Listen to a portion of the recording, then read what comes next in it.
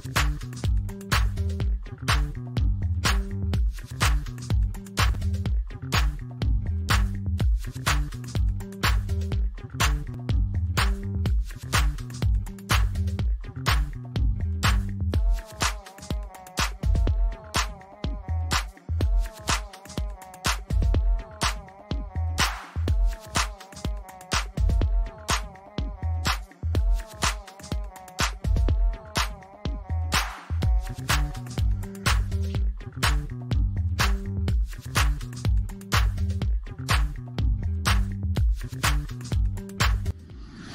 Welcome to the Moms for Wellness podcast on SM Enlightenment Radio or TV.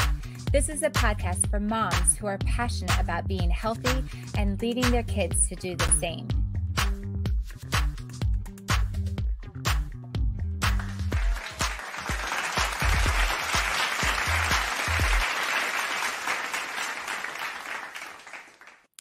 Welcome back, Mama. What if I told you there was a vitamin that plays a role in increasing antioxidant status, preventing free radical damage, and naturally slowing aging? Well, there is, and I am talking about vitamin E. And believe it or not, vitamin E's benefits don't end there. The benefits also include helping to reduce, the risk of prostate cancer, of coronary heart disease, and of mild cognitive impairment. So, the thing is, getting enough vitamin E is especially important for the very young. We're talking fetuses and infants, and for the elderly, and for women who are or may be pregnant. So, especially listen up if you are in one of those categories, or if you know someone who is, be sure to go and grab them and have them listen in too. Okay. And I also just want to mention that I will primarily be using info from uh, Jillian Levy's article um, entitled Vitamin E Benefits the Skin, Hair, Eyes, and Heart. And I will link the article in the show notes, but I wanted um, to mention that. So, a few things first, um, just to know about vitamin E. Vitamin E is both a nutrient as well as an antioxidant, and we're going to go into what an antioxidant is a little bit more. Um, but also, just to know about vitamin E so, vitamin E is actually a description for eight compounds. So, four of them are tocopherols and four of them are tocotrienols. So, they all provide different benefits. So, it's definitely encouraged to get a variety of vitamin E isomers. Um, isomers is what they're called. So, all these different isomers, get a variety of them from your diet, and then you will be able to reap all the benefits. Okay. So I also just want to give you another quick little thing of an introductory um, version of, of learning a little bit more about vitamin E, just a few interesting facts about vitamin E to get started. Vitamin E was first recognized in 1922, but it wasn't identified chemically until 1938. So I just think that's so interesting because relatively like all this research is is new and we're learning so much more about what it does for the body, which we're going to get into. Um, but vitamin E is naturally found in plants and the leaves of green veggies. And vitamin E is both a nutrient and an antioxidant, which I mentioned. Wheat germ is notably a rich source of vitamin E, and wheat germ oil can be used topically as well. And it's a vitamin that's used commercially as an antioxidant to keep fats from going rancid. So it's often found in vegetable oils as well as in beauty products. So, very interesting. It's very versatile. Vitamin E that comes from natural food sources is typically listed as D alpha tocopherol on food packaging and supplement labels. And vitamin E is the most abundant fat soluble antioxidant found in human skin. So I just thought those were some little interesting nuggets and some interesting facts just to kind of wet your whistle, if I may, like about just kind of prime you about vitamin E and what we're going to be talking about. So, I mentioned benefits. So, speaking of those benefits, what we're going to do is we're going to share what the benefits of vitamin E are, which is the whole reason why we're even talking about it today, why I'm doing an episode on vitamin E, because there's so many great benefits and I want to share them with you because I want to highlight for you, you just might not even be aware of what vitamin E is and what it does for you. So, I'm going to share 11 benefits and I'll share what foods you can find vitamin E isomers in. And then we'll wrap up with the dangers of too much vitamin E and just the proper dosing of it. So, more is definitely not better. So, definitely stay tuned to the end to find out more about that. Okay. So, let's get started with the benefits of vitamin E. Number one, Vitamin E fights free radicals and prevents disease development. Okay, so what are free radicals? I mentioned that a little bit earlier. We are talking about an antioxidant. So, what is a free radical? We hear this a lot, and I just want you to be sure to be able to understand this because it is so important for your overall health. So, free radicals basically fight and break down healthy cells in your body. So, our body is made up of cells, right? And we need our cells in order to be a human body, right? And in order for us to be healthy, we need to have healthy cells. And it's just interesting because there's a lot of research being done right now that is showing that most diseases are linked back to the cellular level. So, when healthy cells are attacked, then disease will be coming in. So, one way healthy cells are attacked is by free radicals. And vitamin E has powerful antioxidant capabilities that are able to reduce free radical damage, fight inflammation and oxidative stress, and also as a result helps to naturally slow aging. So, that's a really nice benefit as well. Okay. And also, vitamin E supports the immune system, which helps to increase protection against some infections and also plays a role on cancer prevention as well. So that was a really, really big one in just fighting free radicals and preventing disease development. That is pretty amazing. So that's benefit number one. Benefit number two is vitamin E balances cholesterol. So, because vitamin E fights free radicals in the body, what we were just talking about, it helps fight against cholesterol oxidation as well. And again, more great effects of fighting free radical damage in the body. That is an amazing thing. So, that's number two is it balances cholesterol. Number three benefit of vitamin E is that it balances hormones. Okay, so this goes out to all my girls out there who suffer from PMS, from urinary tract infections, anxiety, fatigue, changes in your skin, allergies, and weight gain. All of these issues are symptoms of hormone imbalance, and vitamin E can play a very, very important role in balancing your endocrine and nervous systems, thus helping to smooth out all of these issues. Yes, please. Okay, so vitamin E, that was number three. It balances hormones. All right. Number four is actually related to that, but it specifically helps for PMS symptoms. Okay, so vitamin E can help with this. So, check this out studies show that you can reduce cramping, anxiety, cravings, and other PMS symptoms by taking vitamin E two to three days before and two to three days after your menstrual period. So, vitamin E can also decrease the pain level and the duration and even reduce the blood loss. Now, that sounds worth it. So, another great benefit of vitamin E. All right, going on to number five benefit of vitamin E, it repairs damaged skin. Now, this is actually the first thing that I knew about um, what vitamin E was good for because I remember taking a vitamin E capsule. And I don't know if you've ever seen the vitamin E capsules, but there's a picture of it. So if you're watching on YouTube, you can see the picture. If you're just listening, you'll have to check out a YouTube channel and um, go to SM Enlightenment um, on the YouTube channel. And so you can see there are these little yellow round, um, just these little, you know, look like little pills. And it's a vitamin E capsule. And I would poke it um, and then squeeze out the contents onto my skin to be able to help heal a scar. And this is because vitamin E speeds up cell regeneration. Vitamin E is absorbed by the epidermis layer of the skin and it strengthens the capillary walls and improves moisture and elasticity. And it reduces inflammation both within your body and on your skin.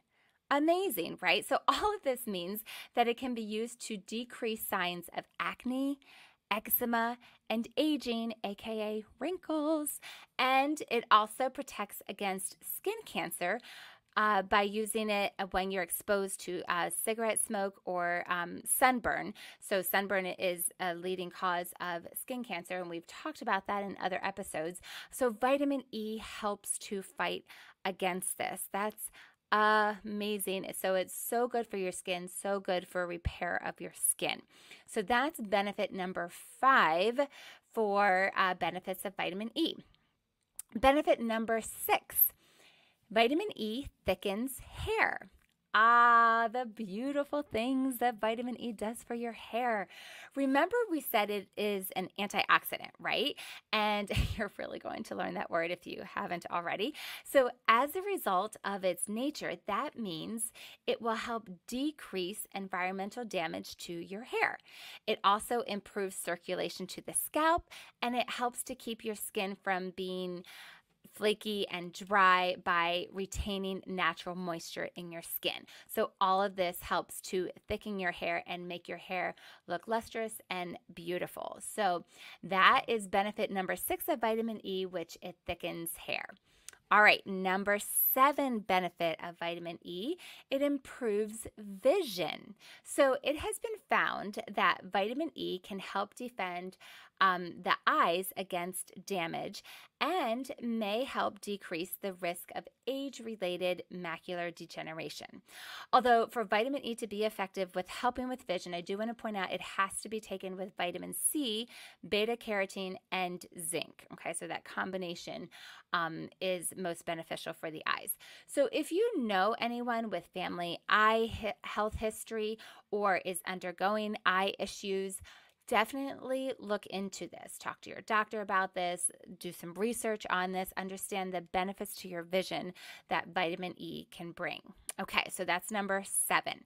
Number eight benefit of vitamin E is that it may help people with cognitive decline and with Alzheimer's disease. So, there's a lot of ongoing research on this and nothing conclusive um, as of right now, but findings are showing that vitamin E combined with vitamin C may decrease the risk of developing several forms of dementia and it also protects against cognitive decline. So, definitely something to look into, to do your research on as well, but definitely worth noting um, that vitamin E is being linked to helping ward off um, and help with um, the cognitive decline happening. So that is benefit number eight. Another really great benefit. These are amazing. Like it's just amazing to think all of this from vitamin E. It's pretty amazing. Okay. Benefit number nine of vitamin E. It may lower cancer risk and improve effects of medical treatments. Now, this is fascinating. And again, there is current research being done and nothing definitively conclusive as of yet. But I want to share this quote with you. Quote, vitamin E is sometimes used to lessen the harmful effects of medical treatments, such as radiation and dialysis for treating cancer. It's also used to reduce unwanted side effects of drugs that may cause hair loss or lung damage. Certain isomers of vitamin E have also been tied to cancer protection. End quote. That's amazing. That is absolutely amazing. And again, I think a lot of it probably goes back to what we have been talking about a lot and a lot of these points is the antioxidant nature of it and the types of things that vitamin E does. So that is really an amazing, beautiful thing. Okay, number 10 benefit of vitamin E. It improves physical endurance and muscle strength. So, remember, we have talked a lot about oxidative stress, right? Well, vitamin E reduces the level of oxidative stress on your muscles after you exercise. And it increases your energy and it improves your muscle strength. So, this is a great one to share with all those athletes that you know, for your kids that are athletic, for you, mama, that are athletic. Uh, vitamin E has this benefit. So, that's a really, really great thing um, that vitamin E can do for you. And then the last one, number 11, benefit of vitamin E, that it is important during pregnancy for growth and development. So remember when we started and I mentioned that this is important for babies and for pregnant mamas, right? Well, here is why. And again, I'm going to quote for you. Quote, vitamin E is critical during pregnancy and for proper development in infants and children because it protects critical fatty acids from being damaged. Some experts believe that the biggest need for vitamin E is during the 1000 day window that begins at conception, since it impacts early stages of neurologic and brain development that can only happen during this one specific period. Because of this, it's recommended that pregnant women, nursing mothers, and children up to the age of two take a natural food based supplement, supplement to make sure they're getting enough to prevent abnormalities. End quote. That's amazing. So definitely, definitely, definitely share this with all of your mama friends who are pregnant, who are thinking about becoming pregnant, who may want to become pregnant. Really, really good information to know and to be able to share with them. Okay, so that is the first section. That is part one the 11 benefits of, or 11 of the benefits, not the only benefits of vitamin E. Okay, so now you know why I'm so fired up about it and why I wanted to know you to know all about vitamin E and what it does for you, what it does for your children. Okay. So, the next thing I want to share is where to find vitamin E. Okay. So, the best place to find vitamin E is in food, okay? The best way to get it is by eating your vitamin E, okay? So, what food is highest in vitamin E? Nuts, seeds, and whole grains are among the top sources. And just also keep in mind that because vitamin E is fat soluble, it's best to consume it along with a source of fat, such as olive oil. And nuts and seeds naturally contain fat, which helps with its absorption. All right, so this is what I want to share. I want to share these vitamin E foods that can help you meet your daily needs, okay? So the first one is sunflower seeds. One cup gives you 33.41 milligrams of vitamin E, and that's 220% of the vitamin E that you would need. And so just have a cup of sunflower seeds, you're good to go. Okay. Another source is almonds. One cup gives you 32.98 milligrams. Okay. That's 218%. So a big percentage. Hazelnuts, one cup of hazelnuts gives you 20.29 milligrams, which is 133% of your daily need of vitamin E. And then wheat germ, one cup plain uncooked, gives you 18 milligrams, which is 120% of the vitamin E. So those are definitely the top four sources of vitamin E. But there's other ones. They don't give quite as much, but they are definitely good sources. So the next one is mango. One whole raw mango gives you 3.02 milligrams of vitamin E, which is 20% of your daily recommended allowance. The next one is avocado. Have one whole raw avocado gives you 2.68 milligrams, which is 18%. Uh, next one is butternut squash. One cup of cooked and cubed squash gives you 2.64 milligrams, which is 17%. Broccoli, one cup of cooked broccoli gives you 2.4 milligrams or 12%. Spinach, a half a cup of cooked or about two cups of uncooked gives you 1.9 milligrams. Sweet potato, one cup of cooked Sweet potato gives you 1.4 milligrams. Kiwi, one medium kiwi gives you 1.1 milligrams, which is 6%. And then tomato, one raw tomato gives you 0.7 milligrams, which is 4% of your daily recommended vitamin E intake. So those are the top sources, the best sources for vitamin E consumption. So that is really the best way to do it is by eating a variety of foods that have the vitamin E in it. Okay. So remember, I said vitamin E is made up of eight major isomers, right? And the above foods listed are not great source they are great source they're not great sources of just one of those specific compounds which is called tocotrienols so these tocotrienols where do we find those? Well, I want to, to tell you some other things that had these tocotrienols in them, okay?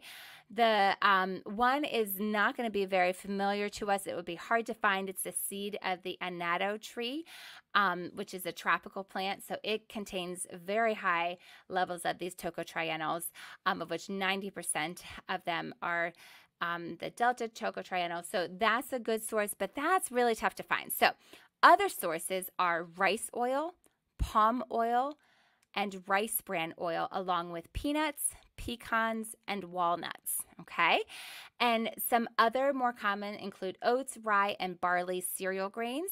And another easy way to get some vitamin E benefits is to just add a tablespoon of wheat germ oil to any recipe. So, those are a couple of ways to get some of the um, the tocotrienols, and I didn't go into all the different names of them, but um, that one um, is a little bit harder to find. It's not as prevalent in the other foods, the first set of foods. So if you do a combination of those, throw in some peanuts, pecans, and walnuts in with your other nuts, your almonds and your hazelnuts, that will be a great combination for your vitamin E. Now, I did just want to mention and um, to close this out, just the third part, just a little bit of warning and um, some dosage um, information. Okay, so like anything with your health, it is always best and wisest to consult your doctor for what is best for your health. So, my purpose here today is just to raise awareness of the impact of vitamin E on your health and the benefits that it can give. So, I will give you the recommended daily doses, but just know that it would be best for you to consult with your doctor and just know that um, you don't want to have very high amounts of vitamin E. It is unsafe when taken in very high amounts, especially for people who have conditions such as heart disease or diabetes. If you suffer from these health issues, um, do not take doses of 400 IU per day or more. And of course, if you are pregnant, consult your doctor regarding what is best for you, but definitely be aware of these benefits, okay? So before we get to dosages for ingestion, just let me address uh, topical use of vitamin E because I mentioned mentioned this in one of the benefits um, that we have. And so I just wanted to mention to you that tocopherol acetate is actually a man made form of vitamin E that takes natural vitamin E and adds acetic acid to it. And so to- tocopherol acetate is a potentially irritating form of vitamin E to watch out for in cosmetics and body care products. So I just wanted to mention that as a word of warning to just be aware of that, okay? And many topical vitamin E products like vitamin E oil can contain additional and sometimes questionable ingredients. So Always read labels carefully and talk to your dermatologist if you're unsure of the best vitamin E product for you. And we've talked about these types of things in other episodes about just really being aware of the ingredients and the products that you're using. But I did want to call that out. So that's tocopherol acetate.